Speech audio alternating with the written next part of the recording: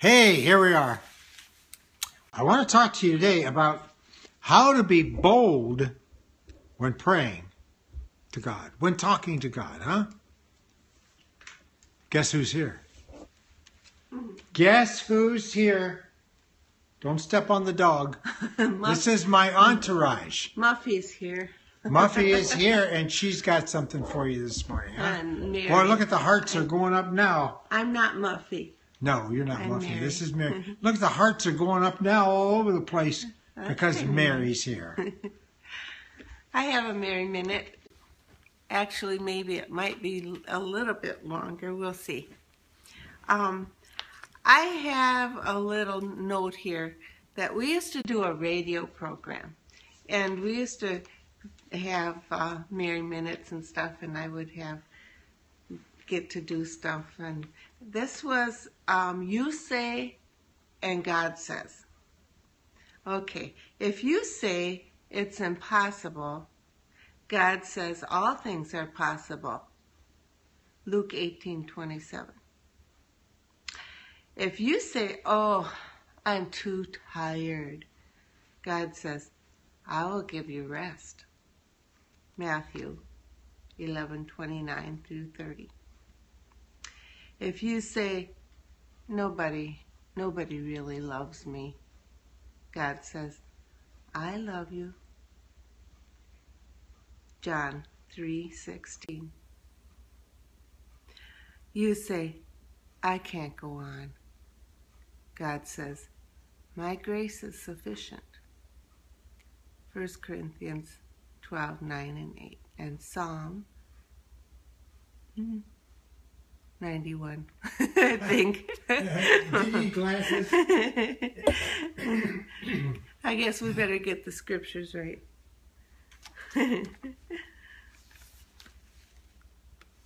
that was uh, not right at all. I can't go on. My grace is sufficient. 2 Corinthians 12 9 and Psalm 91 15. you say, I can't figure things out. Jim does that a lot, and then he asks the Lord, he says, I will direct your steps. Proverbs 3 5 and 6. If Jim can't figure things out, he asks the Lord how to do it. And that's my Mary minute for today. Well, you know what? I think what I want to do is post some of these on Instagram. okay, Huh? Can I can I use some of these on Instagram? I suppose. Thank you. I'm going to put this right over here with my stuff, and I'm going to post some of those on Instagram. Can I have my glasses back? Um, somebody asked a question. It says, Can you talk with God? Yes, and we're going to talk about that right now about how to talk boldly. How to be bold when you talk to God, huh? Yeah. When you pray. Um, Hebrews chapter 4, verse 16 says, Let us therefore come boldly to the throne of grace, that we might find grace to help in time of need. God expects us to approach Him boldly because of several for several reasons. Number one, he loves us, just like Mary said. And number two, because we're his children. I tell people this you belong in the throne room. You belong in there. Your father is sitting on the throne. Are the king's children welcome in the throne room? They should be. Amen. I always remember, Mary, years ago, Mary and I were out someplace, and I, she was looking around in this store, and I happened to be looking at the magazines and stuff. They had all these old magazines, and one of them was the old, uh, a copy of the old Saturday Evening Post, an original copy. We still have it here somewhere because we didn't throw that away. And it, it was uh, it was a day in the life of President Kennedy, and the whole the whole magazine that day that time was focused on what President Kennedy did during a day, and one of the things was he was having this meeting with all these people all these people wearing these real important suits and everything. And they were all there in the in the Oval Office, and he wasn't looking at any of them. He was looking past them, behind and peeking out from behind a couch was his little boy. and he only had eyes for him. And that made such an impression on me when I saw that. And I said, Mary, I said, look at this. I said, that's how God looks at us. No matter what is going on in heaven, what, and believe me, there's a lot of activity in heaven. The angels are fluttering around all the time. I read Isaiah 6. In the year King Uzziah died, I saw the Lord high and lifted up, and his train filled the temple, and the angels were flying around. I'm telling you, there's a lot of commotion going on in the throne room. But when you show up, you have God's undivided attention. Therefore, it says, let us come boldly. Walk right in there like you belong in there. When you approach God, picture yourself walking into the throne room of God and talking to Him. You can do that. You can walk right into the throne of room of God. You can talk to Him. You can you can fellowship with Him. You can praise Him and worship Him. And if you have needs, tell Him about it. And pray in the name of Jesus. But go boldly. You can also be bold when you talk to God when you're telling Him what He said. That's what I do. If I need healing or I need anything, I will say, Lord, your word says that you will provide all my needs according to your riches and glory by Christ Jesus.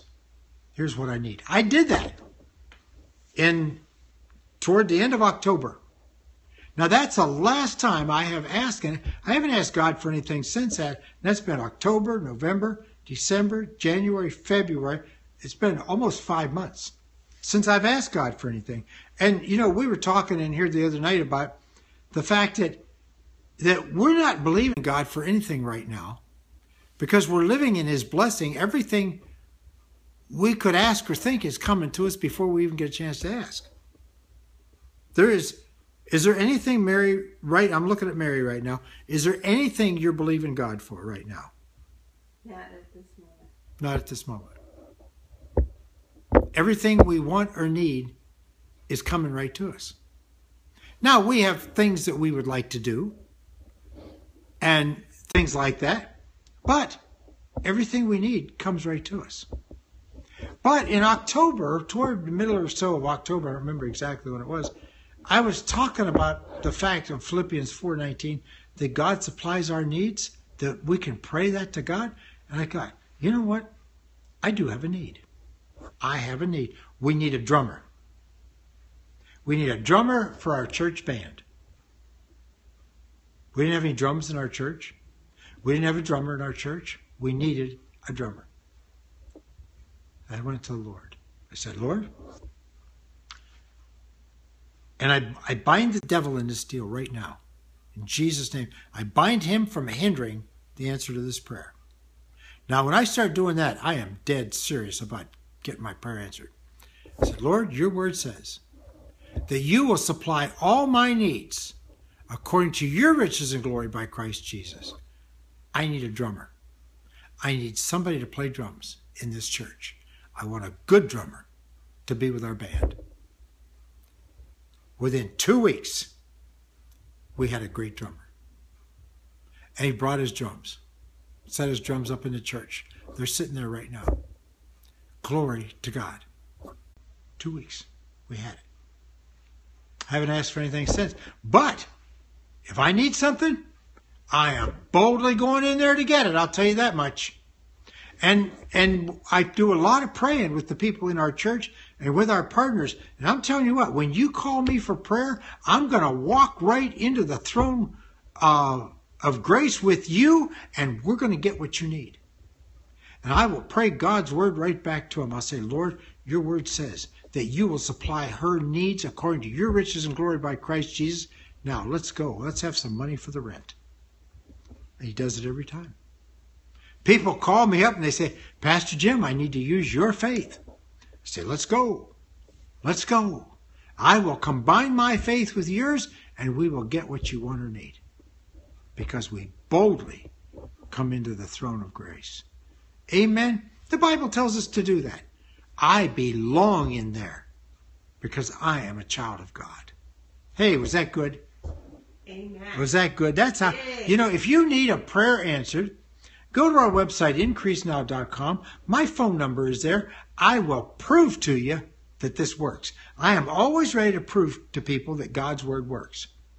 I, I say this God, we can get anybody healed of any sickness or disease anytime, any place, and I will prove it to you.